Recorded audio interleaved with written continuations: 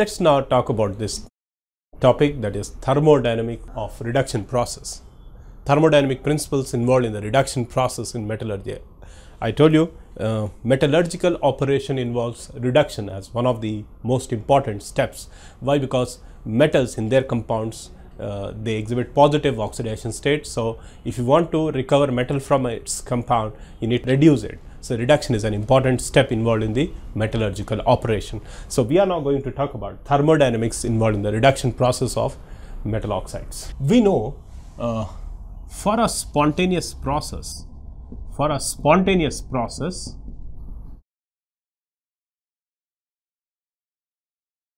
delta G must be negative. Any process whose delta G is negative will be a spontaneous process. And we know that delta G is given by this is Gibbs Helmholtz equation delta G equals to delta H minus T delta S. This is Gibbs Helmholtz equation which gives relationship between these thermodynamic parameters. Now, what is delta G? Delta G is change in free energy What is delta H? Delta H is change in enthalpy of in the process, change in enthalpy. And then delta S is change in entropy of the system. And T is absolute temperature.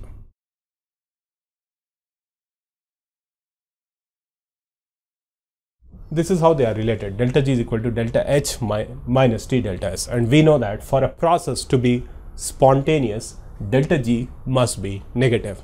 Now uh, for delta G to be negative the delta H of the process should be negative delta S should be positive. This is the most preferred condition change in entropy should be positive and change in enthalpy must be negative. That means the reaction should be exothermic and it should involve increase in entropy of the system. Then it is a guaranteed spontaneous process. Suppose for a process if delta H is negative and delta S is also negative, it means that this tends to make the delta G negative and this tends to make the delta G positive. So, if such a process is spontaneous, then it is said to be driven by enthalpy. There are processes which are driven by entropy. There are processes which are driven by enthalpy. There can be a process which is driven by both entropy as well as enthalpy. If uh, delta H is negative, delta S is positive, then the sign of delta G will be largely decided on the basis of temperature. By changing temperature, it is possible to make delta G negative or less negative or maybe positive. Once it becomes positive, then the process becomes uh, non-spontaneous. The forward process becomes non-spontaneous. The reverse process will take place. We are going to apply this to uh, metal oxide formation and try to find out, uh, try to look at the various applications of it. Uh, consider this reaction.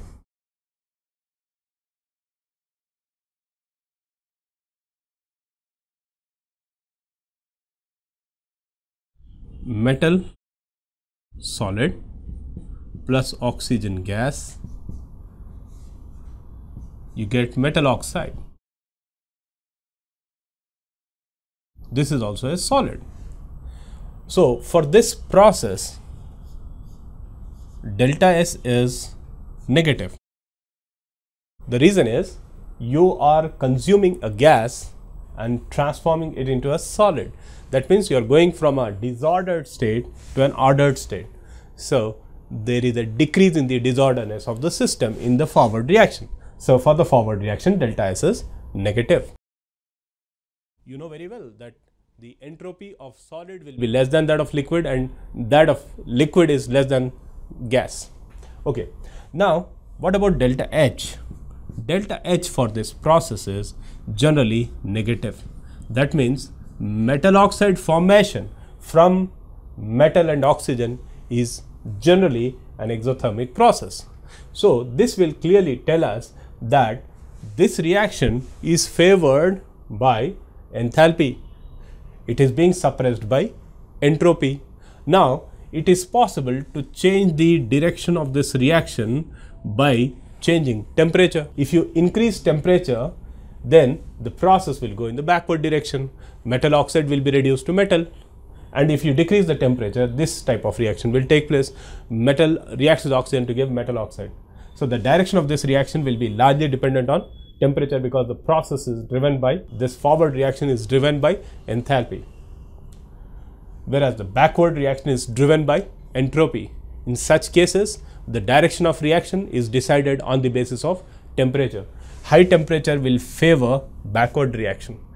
High temperature will favor backward reaction. So we can say, theoretically we can say any metal oxide when it is heated, it can to a sufficiently high temperature, when it is heated, it can uh, get reduced on its own, it will decompose to give metal. It is possible to uh, decompose any metal oxide if sufficiently high temperature is used. But this is not always economical. Some metal oxides which are not that very stable can be reduced in this way, but thermally stable oxides cannot be, uh, it is not advantageous to reduce them in this manner.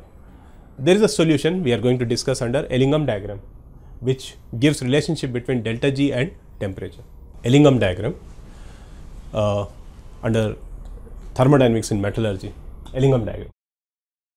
This is a graph actually which shows variation of delta G formation, standard free energy of formation against temperature for this reaction, metal to metal oxide reaction. Formation of metal oxide, F represents formation of metal oxide. And you can see for all the metals, the graph uh, has positive slope. Graph is moving up. Ex forget about carbon. For metals, it is going up. That means uh, this is the point uh, where uh, the delta G becomes 0 and beyond this it becomes positive. That means uh, once a temperature is reached to a level where delta G becomes positive, then the compound will decompose and backward reaction takes place. So every metal it is tending upwards. So at uh, sufficiently high temperature, that will decompose, the metal oxide will decompose to generate metal. I told you in the previous section, we said that any metal oxide can be decomposed to metal if sufficiently high temperature is used. So that's the reason why you find this graph, the lines going upwards. Fine. Now, sometimes you observe change in slope of the line. It is because of change in the physical state of substance. If it goes from solid to liquid state, obviously liquids have more entropy than uh, solids and the entropy change with increase in temperature also will be higher so that's why you see changes in the slope of the line you can see that metals like silver and mercury uh, they are uh, in the top positions and they decompose very easily uh, this is the temperature corresponding to this point the temperature where uh, you know silver oxide decomposes at some relatively higher temperature mercuric oxide decomposes to give mercury on its own.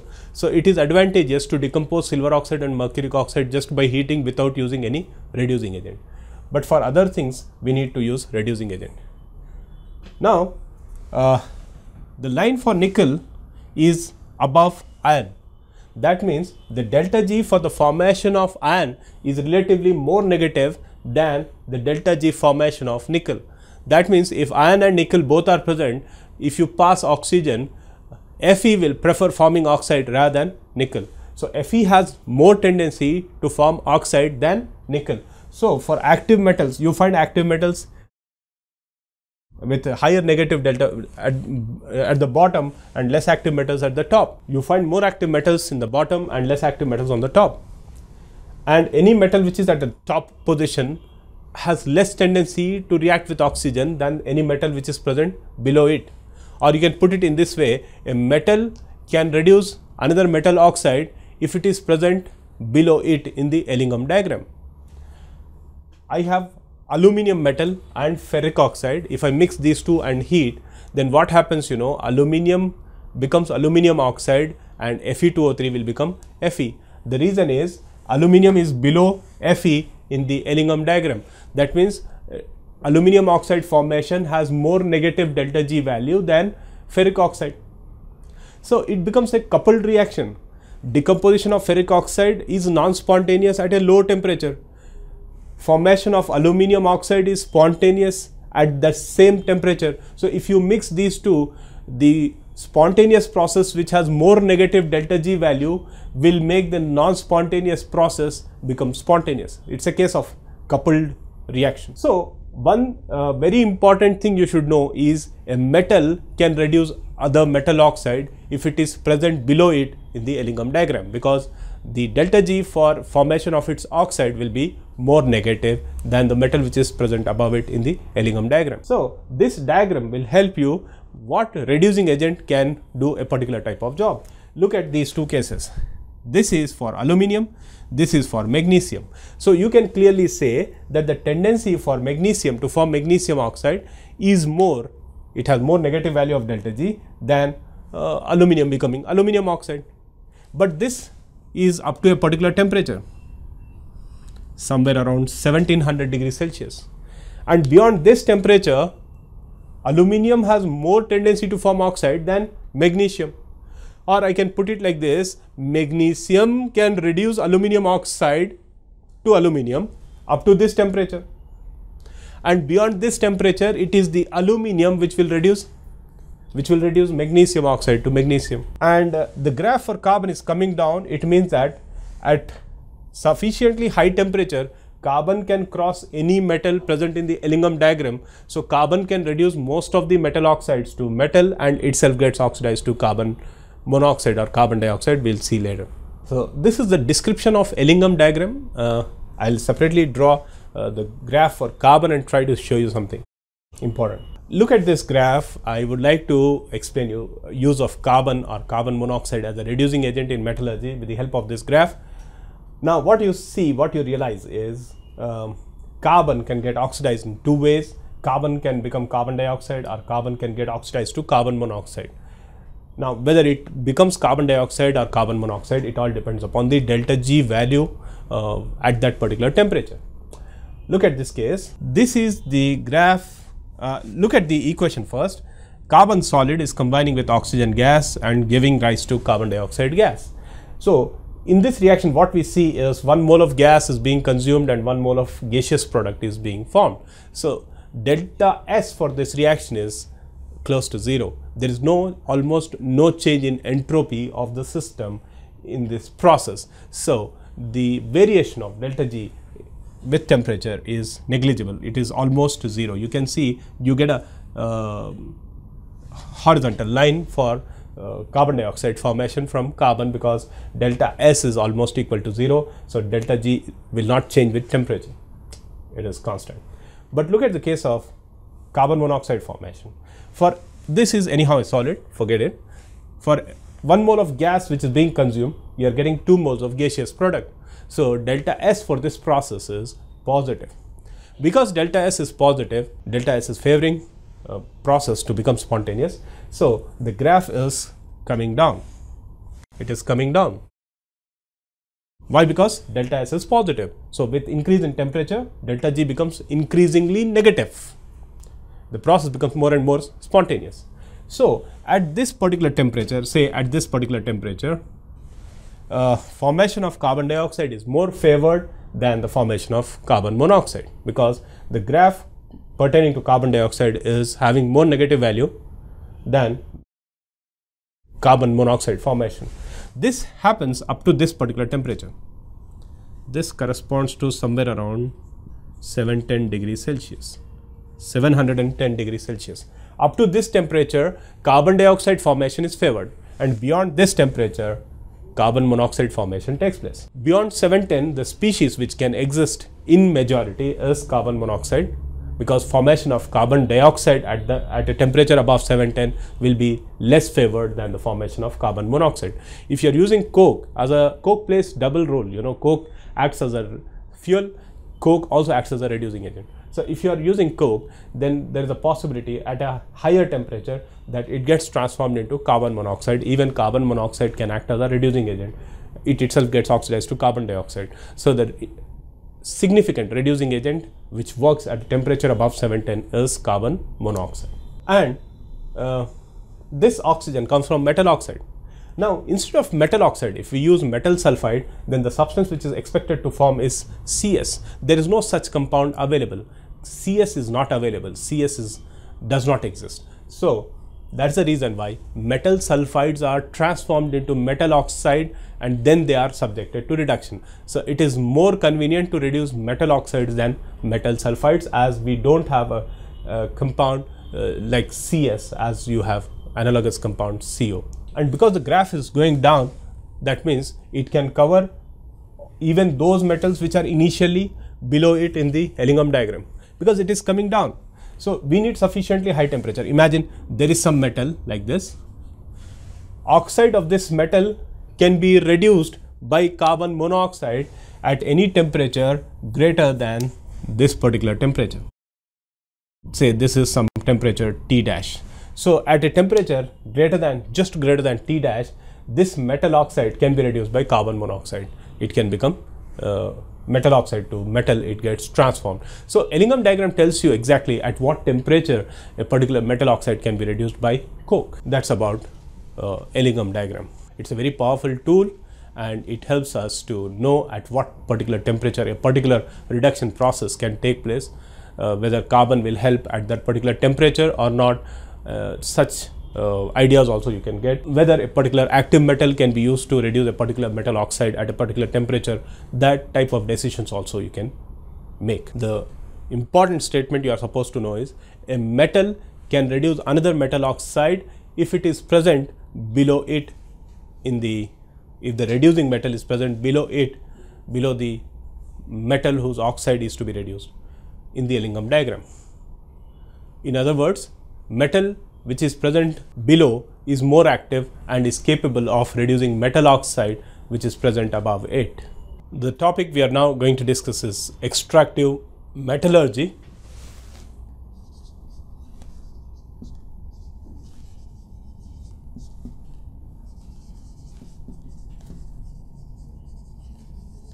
Under this, we will be discussing extraction of some important metals. Uh, before that, I would just uh, classify metallurgy and try to make it clear which metal falls in a particular category. Metallurgy, you can classify this into three categories. Hydrometallurgy, then you have pyrometallurgy, and you have electrometallurgy.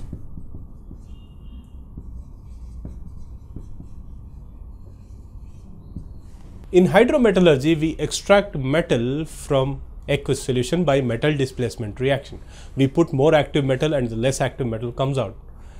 Uh, here we have two important cases to discuss, silver and gold. These two metals we are going to extract by what is called as hydrometallurgy. You will learn about details about what is hydrometallurgy and how these metals are extracted in the next section. Then under pyrometallurgy we have two categories again. Auto reduction and we have carbon reduction.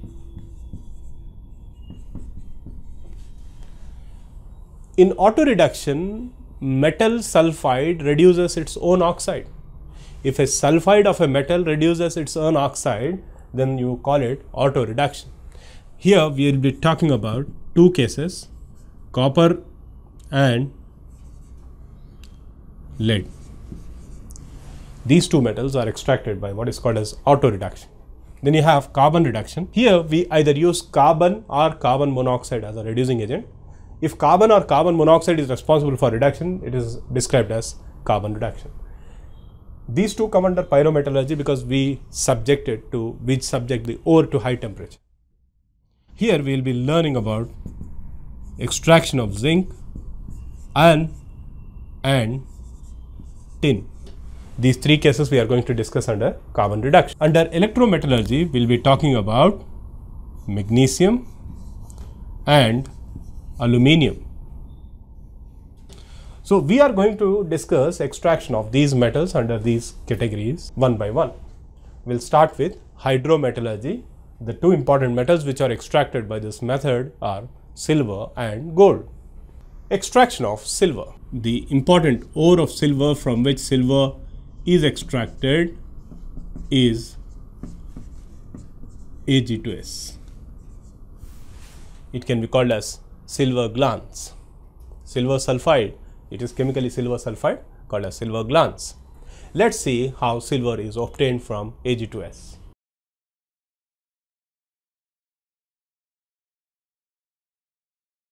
The first step in the extraction is concentration of ore. Concentration of ore. This is done by froth flotation. Just remember, sulfide ores are generally concentrated by froth flotation technique. Here we put powdered ore, water and pine oil in a tank and we pass air, lots of air is passed and it is agitated. When you get froth and the ore particles will stick to the froth and the particles impurity that is gangue or matrix settles down and uh, you recover the froth and allow it to collapse then oil flows down what is left out is particles of ore so that is froth flotation technique. So argent uh, silver glance is purified is concentrated by froth flotation technique. Then the next step is leaching. Here the ore is treated with NaCN, sodium cyanide. Cyanide is a very important, very powerful ligand. So we blow air also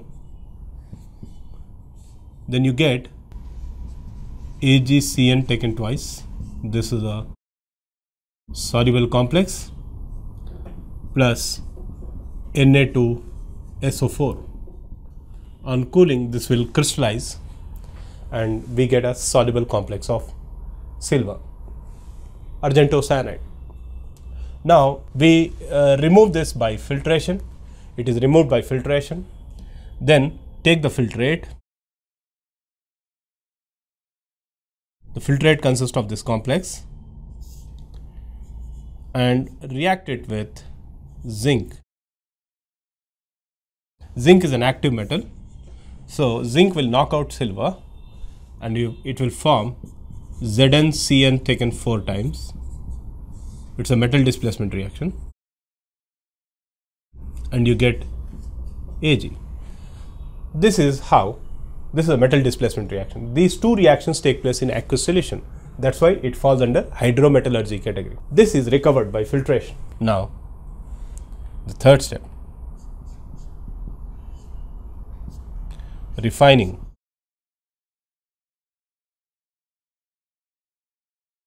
Refining of silver. Now, refining. Refining is done by electrolysis. Electrolytic refining is done. Here, anode is silver, that is impure silver. Impure silver acts as anode and cathode is pure silver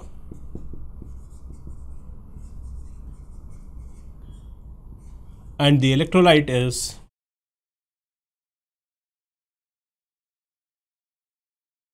electrolyte is AgNO3. Aqueous solution of silver nitrate acts as electrolyte. The impurities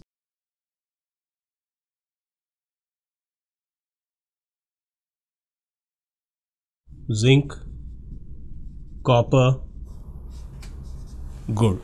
These are the impurities zinc will dissolve in the electrolyte as Zn2 plus whereas copper and gold they form anode mud. Copper and gold are copper and gold will be in the anode mud. So this is complete extraction of silver. Silver is extracted from silver glance Ag2S. The ore is first concentrated by froth flotation. It is then leached with NaCN. Leaching is done with NaCN. The role of oxygen of air is to oxidize sodium sulfide to sodium sulfate. sodium sulfide is oxidized to sodium sulfate so that on cooling it can separate out as crystals. You get filtrate containing the silver complex. Then zinc is added, which is being more active metal will displace silver, and you get zinc complex in the filtrate, and Ag is formed. Ag is then refined. Method chosen is electrolytic refining. We use anode as impure silver as anode, and pure silver is used as cathode. Electrolyte is aqueous solution of AgNO3. Uh, zinc impurity present in silver will dissolve in the electrolyte. The copper, gold will fall down as anode mud. The next metal we are going to discuss the extraction of gold.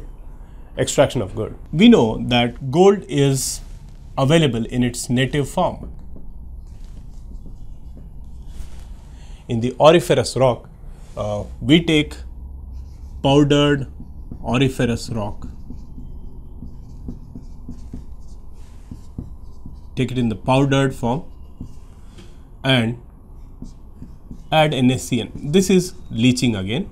We take 0.2 percent of NaCN and this consists of AU. Pass air which will supply oxygen. AU present in the auriferous rock. It consists of impurities, right? Then NaCN, 0.2 percent solution of NaCN is added. Air is blown into it, and you get AU CN twice and NaOH solution becomes alkaline. This is the first step. The job of oxygen of air is to oxidize AU from its zero oxidation state to plus one oxidation state. Here oxidation state of AU is in the plus one state aurous form. So this job is done by aerial oxygen. Then this complex is treated with scrap zinc scrap zinc metal displacement reaction takes place and you end up with this Zn Cn taken 4 times 2 minus plus Au.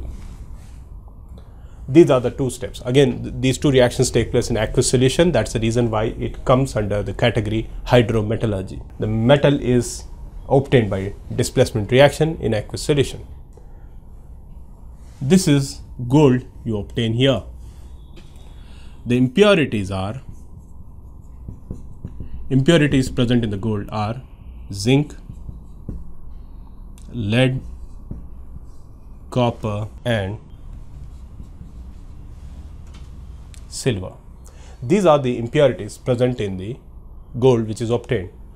Now purification or refining. Refining of gold. This is done in four stages because we have uh, four impurities, four important impurities present in it. So we do the refining in four stages. Number one, dilute sulfuric acid is added. This will remove zinc. It removes zinc as zinc sulfate. It dissolves, zinc dissolves in dilute sulfuric acid. Whereas lead, copper and silver, they do not. Copper and silver are below hydrogen in the activity series. Lead is rendered passive by sulfuric acid. The next step is cupellation. Here the metal is taken, the impure metal is taken in a crucible and you blow lots of air in it and you heat it. When you do that, PB is removed, removes PB as volatile oxide PBO. We pass lots of air, we blow lots of air and heat the metal.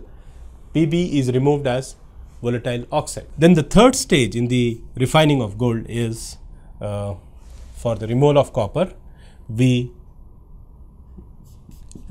we do this. We heating with borax. This will remove copper. Copper will be forming copper metaborate and it will be lost as volatile substance. Then finally heating with concentrated H2SO4. This removes silver. Silver dissolves in it as Ag2SO4 silver is slightly soluble in sulfuric acid and uh, on heating it dissolves as Ag2SO4 and in this way you get rid of all the four impurities zinc uh, lead copper and silver. Zinc is uh, removed by adding dilute sulfuric acid. Once you remove zinc then you do cupellation that is heating the metal in lots of air. Uh, lead gets oxidized to volatile oxide it is removed. Then copper is removed by heating the metal with borax. And finally silver is removed by heating in concentrated sulfuric acid. So this is how gold is extracted and the process is described as hydrometallurgy the reason is gold is first transformed into a soluble complex and then you do metal displacement reaction by adding scrap zinc. So, these are the two examples which uh, are in hydrometallurgy. Well, the next method, uh, metal we are going to discuss is copper, extraction of copper. Important ore of copper is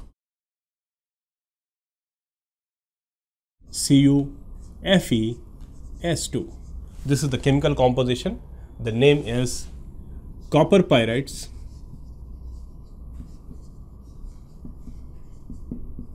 also called as chalcopyrites. This consists of cuprous sulfide and ferrous sulfide. So you can realize that the ratio of copper and iron is 1 is to 1. So you have lots of iron as an impurity in the ore.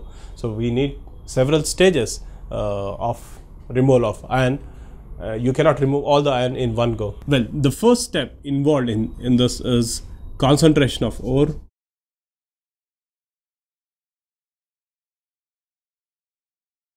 Concentration of ore and because it is a sulfide ore be concentrated by the technique froth flotation. It is the same method. We put uh, powdered ore in a tank. We put lots of water. We add pine oil and then we blow air and agitate the mixture. Froth is formed. Ore particles will stick to the froth and this is recovered and allowed to collapse. And then oil separates out. Ore particles are recovered. This is concentration by froth flotation technique. Next step is roasting. Here the ore is heated in air. As long as you know Fe is more active, Fe is present above copper in the activity series, Fe is more active than copper. So, Fe will get oxidized in preference to copper. As long as FeS ferrous sulfide is available, copper sulfide will not get a chance to get oxidized. So, you lose, here we lose Fe as FeSiO3 and you lose moisture. Moisture is lost. Volatile impurities. Volatile impurities are lost. Some of the Fe will be lost as FeSiO3 because this is associated with some sand uh, when you oxidize it uh, ferrous sulfide will become ferrous oxide. This will react with sand present in it and it will be lost as FeSiO3. You still have lots of FeS and Cu2S in the mixture. After roasting, the next step is smelting. Smelting is done in blast furnace. Here what we do is we take the roasted ore, you add coke coke will work as a fuel. Um, you add SiO2 and air, hot air. Most of the Fe will be removed as FeSiO3 slag and you still have Cu2S. I told you as long as FeS is present, uh, Cu2S will not get oxidized to copper oxide. So you get rid of most of the Fe in this process but you will not be able to oxidize copper sulfide. Even any small amount of copper sulfide becomes copper oxide. It again becomes copper sulfide by reacting with ferrous sulfide.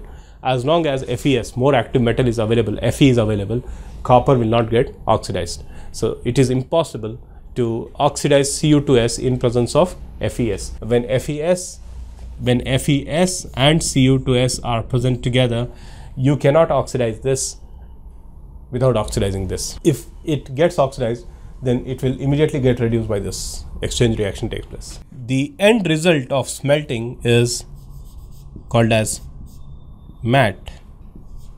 Matte consists of Cu2S and FES. Uh, the amount of FES present is less than what you had in the very beginning. This is matte. Now, the next step is Bessemerization. After smelting, we do what is called as Bessemerization.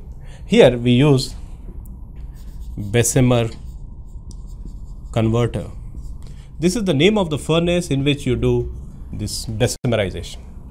Here we take matte which consists of Cu2S and FES.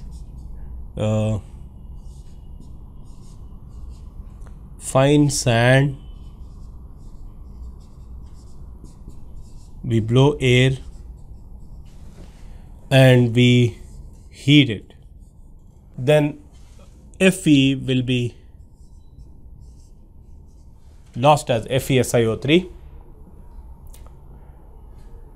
this will appear as a green flame at the mouth of the Bessemer converter this time you lose all the Fe as FeSiO3. After this, this will be burnt off. When the color of the flame at the mouth of the converter changes, like it will be green flame because of FeSiO3. If the color changes, then you can assume that all the Fe has been lost. Now, uh, now cut the supply of sand and continue passing air and continue heating then what happens is some of the copper sulfide will get oxidized to copper oxide. Then you cut the supply of air and continue heating. Then what happens, you know, further transformation of copper sulfide to copper oxide will not take place, but the reaction between copper sulfide and copper oxide starts taking place, which you call it as auto reduction. So there are three stages in bessemerization. The first stage is you heat matte with uh, in presence of fine sand and air that is the first stage. You heat in presence of fine sand and air. Second stage is you cut the supply of sand and continue heating and passing air. And the third stage is stop passing air and continue heating. So, when, when you are first passing sand, then FES will get oxidized to FeO. Next moment it becomes FeSiO3. And when you cut the supply of sand, this you do when you when the color of the flame at the mouth of the converter changes because it burns with a green flame as long as Fe is present. Then cut the supply of sand and then continue heating and passing air. This will oxidize some of the copper sulfide to copper oxide. Then sufficient amount of copper sulfide has been changed to copper oxide. Now cut the supply of air and continue heating. This time auto reduction takes place and you get copper. I'll show you with the help of equation. Now look at the various now look at the various reactions which take place in the Bessemer converter.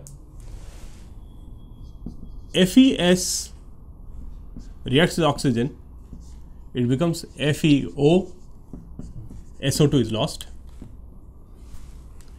FeO then reacts with SiO2 that is sand and becomes FeSiO3. It is this substance which is burning at the mouth of the furnace with green flame. If the color changes, that means formation of this substance has been stopped. That means FES has been totally used up. Now, the next reaction which can take place when all the FES has been removed, then copper sulfide will get a chance to get oxidized. You get copper oxide and SO2. This again escapes out. When sufficient amount of copper oxide is formed, now look at this, you will realize Cu2O reacts with left out Cu2S and you get copper plus SO2. Now, I'll try to, this reaction is called as auto reduction. I'll try to balance it. Uh, take this, two, uh, 2 moles. 2 moles of this will react with 1 mole of this and you get uh, uh 6 moles of this and 1 mole of SO2. That means you need to see to it that two third of cuprous sulfide is oxidized. and one third of cuprous sulfide is still left out, then 2 is to 1 reaction between these two will take place and you get metallic copper like this. It is not possible to exactly achieve this type of transformation, but you know you can always try. You, you have a method of you know recovering the sample from the furnace and analyzing it or when to stop passing air. This continues as long as you are passing air. At this stage you stop passing air and this reaction takes place. This is the actual auto reduction process which takes place. The copper which you get at the end of Bessemerization, it is called as blister copper. blister copper. Then you we have so far we have talked about concentration is done by froth flotation. Then we have discussed about roasting, that is the second stage. Third stage is smelting. Fourth stage is bessemerization, and then the fifth stage is poling. Here, uh, molten metal, molten metal that is copper, is stirred with green wooden logs.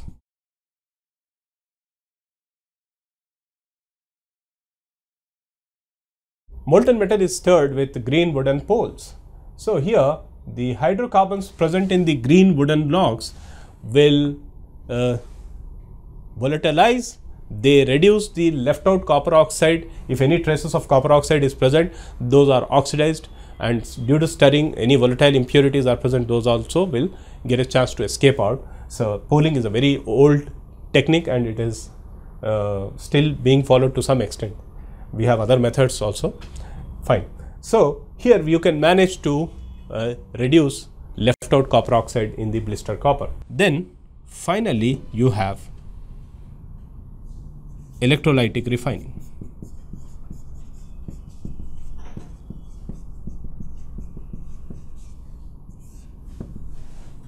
In electrolytic refining, impure copper acts as anode, pure copper acts as cathode, and aqueous copper sulfate is the electrolyte. Aqueous copper sulfate acts as electrolyte impure copper is made anode and pure copper acts as cathode. So, on passing current uh, anodic oxidation takes place CO2 plus becomes Cu becomes Cu2 plus. See this is the reaction taking place at anode. Cu becomes Cu2 plus by losing two electrons. Anodic oxidation takes place. And the reaction which takes place at cathode is Cu2 plus picks up two electrons and becomes Cu. So, as you continue passing current, mass of anode decreases and mass of cathode increases. And all the impurities fall down as anode mud. Here, uh, any zinc impurity present will dissolve in the electrolyte as zinc sulfate. The anode mud consists of silver and gold. Anode mud consists of silver and gold. Any traces of zinc present in the uh, metal will dissolve in the electrolyte. So that's how copper is extracted from its ore.